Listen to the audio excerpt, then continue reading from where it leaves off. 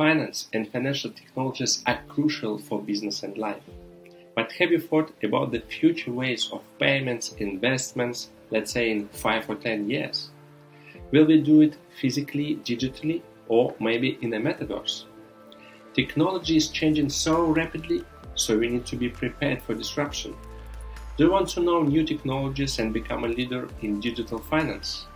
In our program FinTech for the Management Lens, you'll obtain three important skills. First, you will understand disruptive financial technologies of the 21st century. We will look at peer-to-peer platforms, paytech, digital wallets, payment ecosystems, artificial intelligence for investech, robo-advisors, crypto-based crowdfunding, and metaverse opportunities for fintech. Second, you will learn how to launch your own fintech startup. We will, we will generate ideas, brainstorm them, create business models, and develop prototypes of fintech startups. Third, after this program, we will be able to manage and lead a fintech firm.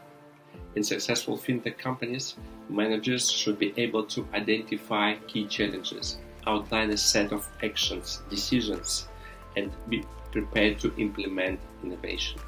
So we will look at change management, strategic leadership, general management, and digital transformation uh, in financial sector. I am Denis Boyski.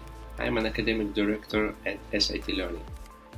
Based on my experience as a CFO and member of the board in companies from 300 million to 5 billion euro in revenue, I run this program in the top business schools in Switzerland, Spain, and the Netherlands.